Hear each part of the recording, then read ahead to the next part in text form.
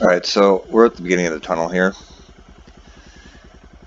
Uh, above this, nerd poles up to my cement factory. Finishing this came with a few setbacks. I found myself 35,000 concrete short, even after clearing all the stone out of that tunnel, which is no small amount. That's what this tunnel back this way is for.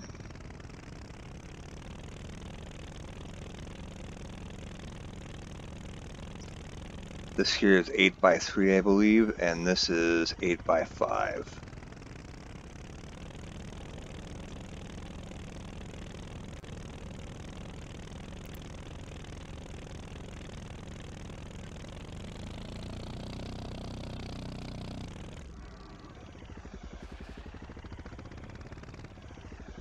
and that's basically as much as it took.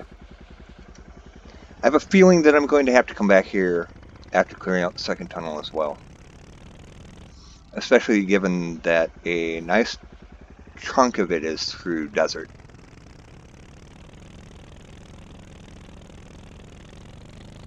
So now we'll head into the uh, tunnel proper.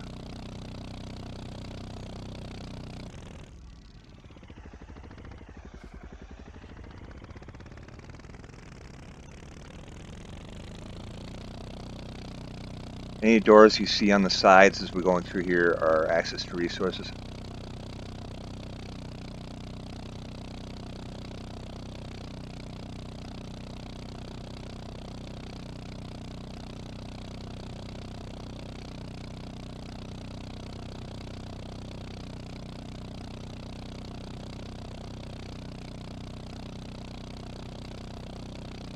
If you're wondering why I didn't put a floor down, just I, I, I, thought I could make cement faster and more efficient than I can in the Legacy.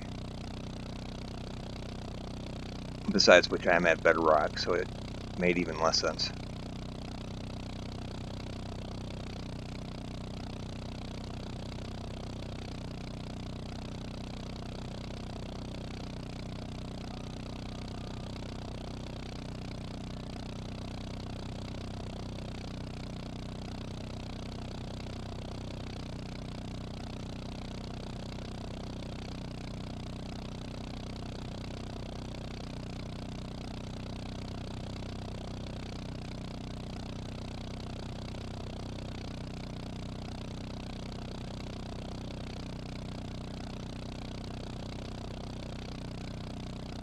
Just about there now.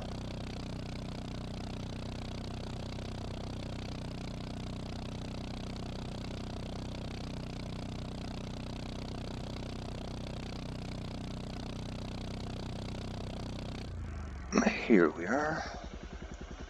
And it's and the halfway port is right here.